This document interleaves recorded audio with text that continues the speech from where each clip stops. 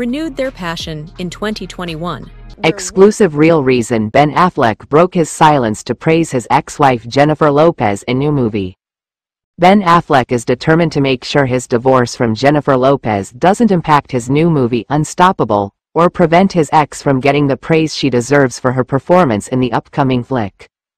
The actor, 52, rekindled his romance with the On the Floor singer, 55, in 2021. But fans were heartbroken when Lopez filed for divorce in August following months of speculation that their two-year marriage had crumbled. Happy confessions about her estranged husband. The passion of really talented artists. After being horny and wounded, I shared. Despite the pair still working out the terms of their divorce, Renewed they have been forced to forge ahead on a professional level after working together on Affleck's new film with co-producer and best friend, Matt Damon. On Sunday, which he was a producer. Affleck broke his silence in the described the wake of their split to the praise her spectacular Was in the movie. performance He because he is film is another adamant about Hollywood's keeping things civil. Insiders Bennifer. told DailyMail.com. Unstoppable Is, is in a way, I mean, it's a very different The 55-year-old actress then added that Besides gushing about how spectacular Jennifer's performance Ben wants Unstoppable to be a major hit, and for J-Lo to receive as many accolades as she deserves for it, a source said.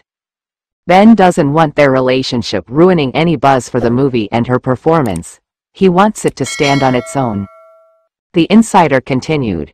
He knows that he is going to be asked about Jen during media appearances. He is adamant about keeping it very civil.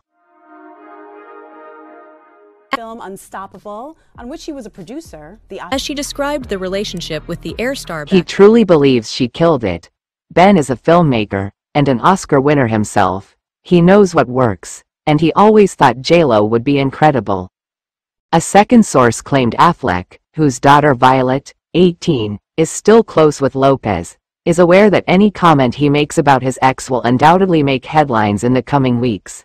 But he has no plans to elaborate. estranged husband. the passion of really talented artists. After being horny and wounded, I shared. Ben obviously has a lot of loose ends to tie up with JLo, but he is proud of her performance, they said. He also knows how much weight his comments have and if Ben says his ex-wife is good she must be good and people will watch the film.